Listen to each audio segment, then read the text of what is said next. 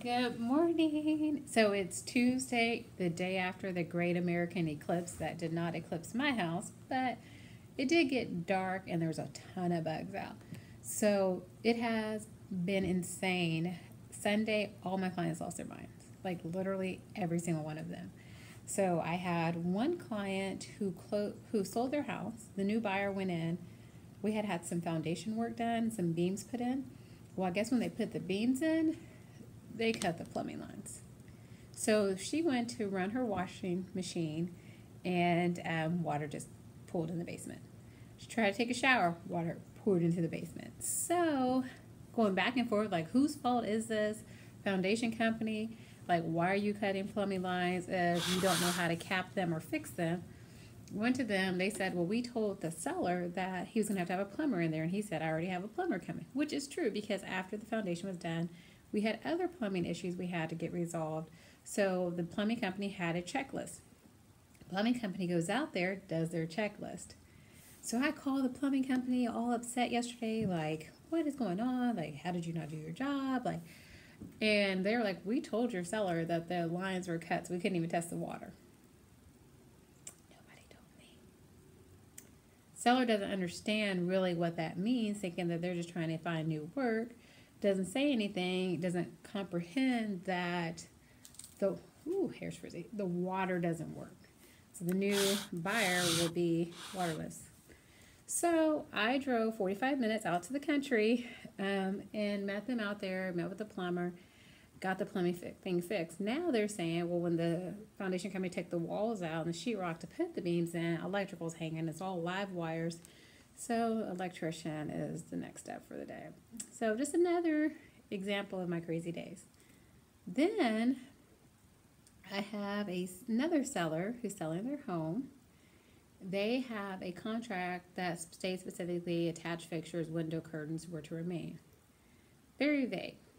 Well, the buyer decides three days before closing that the curtains, which need to stay, which is true, my clients took the curtains, they brought the curtains back but they say that they feel like the pot rack hanging in the kitchen on the hook was an attached fixture, so it needed to stay, which it didn't outline that in the contract.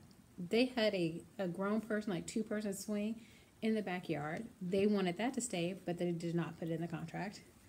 They had some shelves in the garage that were not attached that they had even texted us about during the inspection. It was like, hey, um, are these shelves staying? And we are like, no, they're not staying but they want those back. So they're throwing this huge tantrum over things that they did not negotiate, did not put in the contract, and are going off the basis that they feel like since they were attached, which the shelves, garage shelves were not, and the swing were not, that they should stay in the house. So myself and the other agent are going back and forth, back and forth, back and forth. We got 24 hours of closing, and and my sellers don't want to give in because they know that they're in the right contractually. Their buyer says, "Well, I won't buy the house." So we have to come up with ways to save this deal. So after I went over last yesterday evening with my kids, took pictures of all the walls in the garage to show there's not a single bracket or hole where a bracket could have been. I took pictures of the swing set in the backyard that's not there to show that it was not in concrete, which they they told us that they felt like the swing set was in concrete, and my client saw the bottom off to take it showed them the ceiling in the kitchen where there was no attachment. There was just a, a hole where a hook was, like a hanging plant hook, for that pot rack. Mind you, that was a gift from her brother for their wedding, so they don't want to give their pot rack away. And curtains are getting delivered today. So sometimes you can be right or you can get the deal done. I know we're right. Like, I 100% know we're right.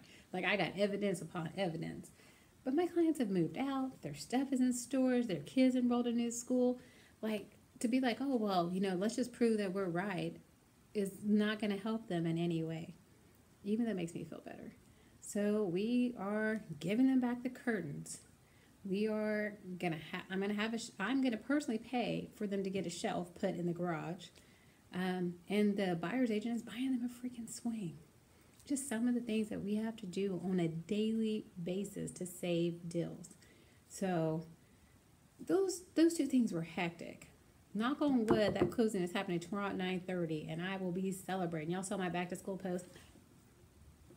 I'm about to do that again. Ooh, I hope everything looks okay under there. But excitement is coming because it's going to close and we're going to move on and everyone will be happy.